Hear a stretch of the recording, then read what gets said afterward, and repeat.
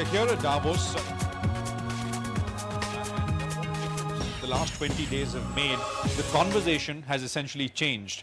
Uh, the conversation now is about China, is about oil, is about global financial markets falling, but it still also remains about digital, all things digital. And that's the central theme uh, this year at Davos, uh, the fourth industrial revolution. Vikram?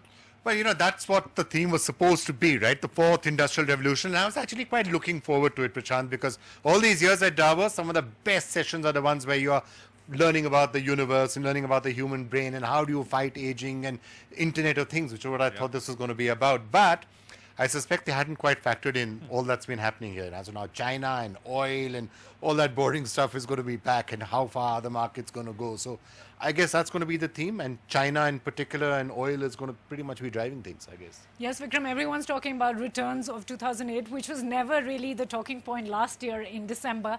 But last will year the mood was reasonably be... upbeat, I thought last year. It definitely was. Uh, and now and they're going back India, to whether we'll have a repeat. Full year of uh, the Modi government, right? It was especially upbeat for India last year, this time. Yeah. Uh, so. Yes, I think in Davos, though, Prime Minister Modi has an excellent opportunity. I know he decided not to come here, and there were rumors that he might make it. He decided not to. We have Finance Minister Arun Jaitley, who's going to be speaking at your uh, debate, at the NDTV debate. Time to get in a quick plug for that. Which will be a big one. Uh, so, rem rem uh, again, reminder to tune in for that.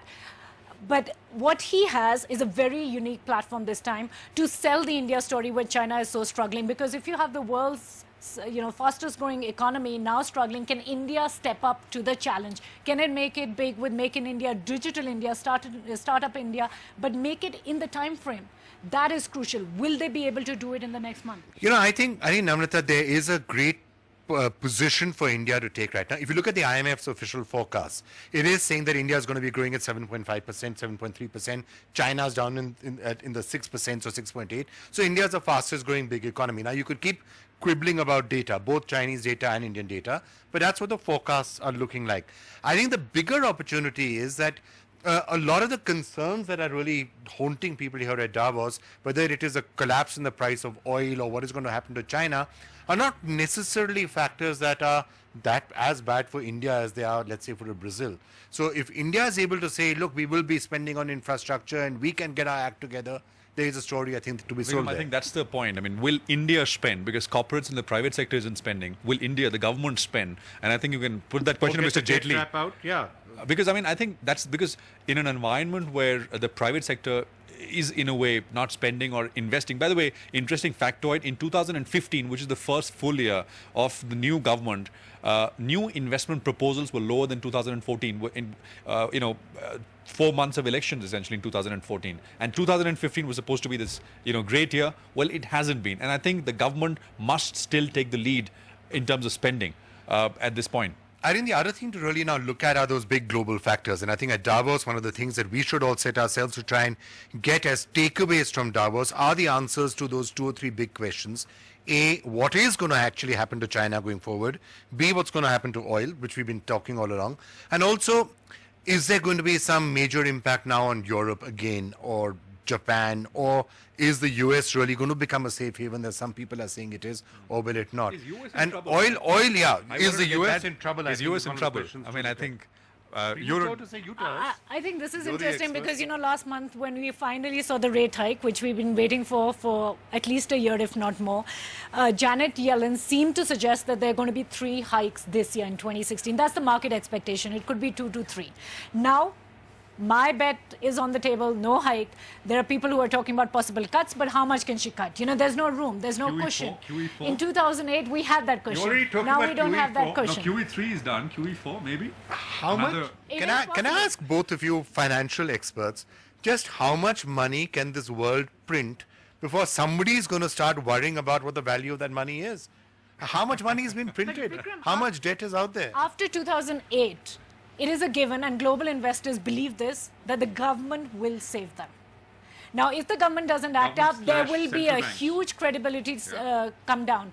And I think that's really the key story. Even with China, with, oil, actually, with Fed, debase, the government has to you come can, and You can do monetary debasement up to a point, but at a certain point, someone's going to start worrying. Well, you can I- do I'm the yuan devaluation, and the world is worrying. It's a five And they are trying to keep the what- mystery, but the world is worrying. Uh, you know, with the slow uh, growth is at 25-year lows. Actually, the current turmoil that we've seen over the last fortnight, actually three weeks, four weeks, some believe that the the the market is worried that cen- central banks have lost control, which is China, which is yuan, right?